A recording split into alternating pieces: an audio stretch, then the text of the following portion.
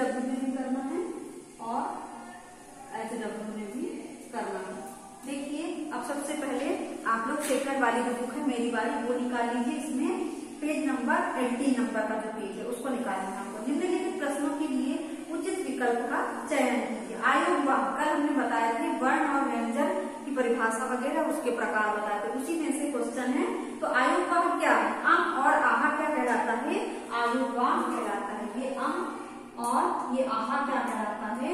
आयोग वाह आयोग वाह आयोग वाह है क्वेश्चन है किस शब्द में शब्द का प्रयोग हुआ। मतलब क्या होता है? है ना? ये हो गया उसके बाद थर्ड क्वेश्चन है, कौन सा एक दीर्घ स्वर का नहीं है? तो ई, छोटा ई क्या में आता है? ये लघु में आता है। लघु लघु में या रस में ये हो गया आपका, उसके बाद अगला क्वेश्चन देखिए लुप्त स्वर के उच्चारण में लगता है, रस स्वर से तिगुना समय। ये जो रस स्वर है, इससे तीन गुना समय अधिक लगता है। उसके बाद अगला क्वेश्चन है किस ध्वनि के उच्चारण में हवा, नाक और मुँह दोनों से निकलती है? तो अनुनासिक। मतलब कि अनुनासिक मतलब चंद्र बिंदु में हवा जो निकलती है, वो नाक और मुँह दोनों से निकलती है। जैसे चाँद, ऐसा बोल के देखें अपने। को अगला क्वेश्चन मेरी बारी चार। निम्नलिखित प्रश्नों के उत्तर उचित विकल्प में लीजिए पंचमा अक्षरों के बदले किस का प्रयोग किया जाता है? तो अनुस्वार का प्रयोग किया जाता है, जो आखिरी में बचती है। किस शब्द में आगत ध्वनि नहीं है? तो अंत में आगत ध्वनि नहीं है। आगत ध्वनि का मतलब होता है ये, है ना? ये हो गया। फिर किन वर्णों के उच्चारण में मुँह से गर्म हवा निकलती है? तो ऊष्म ऊष्म है गर्म ये हो गया ऊष्म। उसके बाद किन वर्णों के उच्चारण ओ और औ के बीच की ध्वनि को क्या कहा जाता है आगत है ना ये है ओ और औ के बीच की ध्वनि उसके बाद अगला है नमक शब्द में किस विशिष्ट ध्वनि का प्रयोग किया तो उसमें विसर्ग का। ये अपन ने विसर्ग लगाया, है ना? ये विसर्ग हो गया। फिर अगला क्वेश्चन देखिए राजन खालिस्तान के पास गया डॉक्टर के पास, है ना? ये ये हो गया डॉक्टर सेकंड क्वेश्चन आज सुबह मैंने अपने आपको, मैंने आपको कॉल कॉल में भी ये लगेगा। उसके बाद, उसके दांत दांत में क्या लगेगा? चंद्र बिंदी है ना? उसके बाद अगला क्वेश्चन है, मैं नवजीवन दंत मंजन इस्तेमाल करता हूँ तो दंत में द में ऊपर देती उसके बाद अगला है? गंगा भारत की पवित्र नदी तो गंगा में सिर्फ़ गंगा ये अब अगला क्वेश्चन है।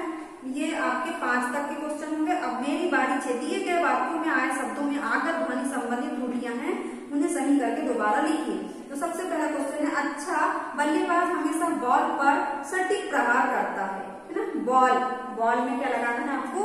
ये जो है आगत उसके बाद अगला क्वेश्चन सभी लोग बड़े हॉल हॉल में भी आगत उसके बाद अस्पताल में डॉक्टर, मरीजों का इलाज करते हैं, डॉक्टर में आगत फिर अनु कॉलेज में पढ़ती है कॉलेज में आगत अंग्रेज़ सांप को देखकर बोला ओ माय गॉड है ना?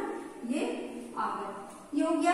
अब उसके बाद देखिए, मेरी बारी सात। ये हम आपको कल पढ़ाएँगे।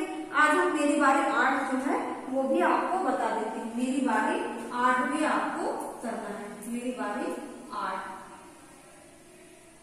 मेरी बारी आठ जो है, आपको ये भी करना है ना? ये छह जो है, ये भी हो गया आपका। सात बचा, सात में कल करवा देंगे। देखिए निम्नलिखित गद्यांश को पढ़कर पूछे गए प्रश्नों के उत्तर लिखिए। क्या आपको पता है कि गुल्ली डंडा केवल भारत में ही नहीं, बल्कि विश्व के कई देशों में भी लोकप्रिय है?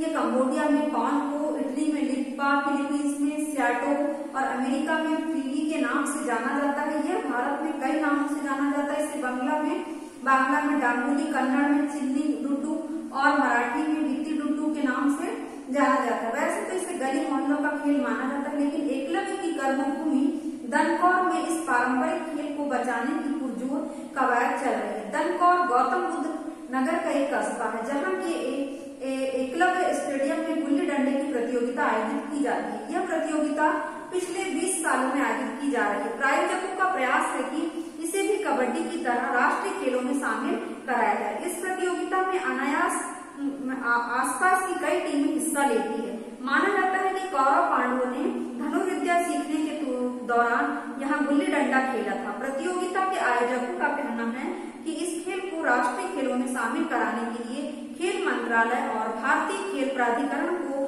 पत्र भेजा जा चुका है। आयोजकों का तर्क है कि यदि बच्चे गुल्ली डंडा खेलते हैं तो वे किसी भी चीज़ को नियंत्रण में लेने और संतुलन बनाना सीखते हैं। अतः इसे विद्यालय स्तर पर प्रोत्साहित किया जाना चाहिए। अब देखिए, सबसे पहला क्वेश्चन है, गुल्ली डंडन का खेल भारत के अलावा किन देशों में प्रचलित है? तो ये विश्व के कई देशों में प्रचलित है। कम्बोडिया में कान और इटली में लिप्पा, फिलीपींस में अमेरिका में पीवी के नाम से भी जाना जाता है है ना?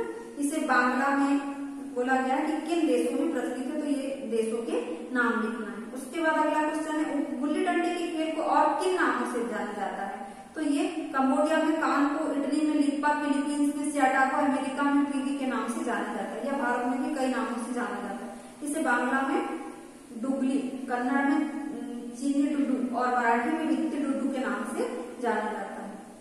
विश्व के कई देशों में लोकप्रिय है। फ़र्स्ट क्वेश्चन का आंसर अब थर्ड है, कहाँ पर प्रतिवर्ष गुल्ली डंडे की खेल की प्रतियोगिता की जाती है। तो इस प्रतियोगिता बोला गया है, देखो आखिरी में है ये क्वेश्चन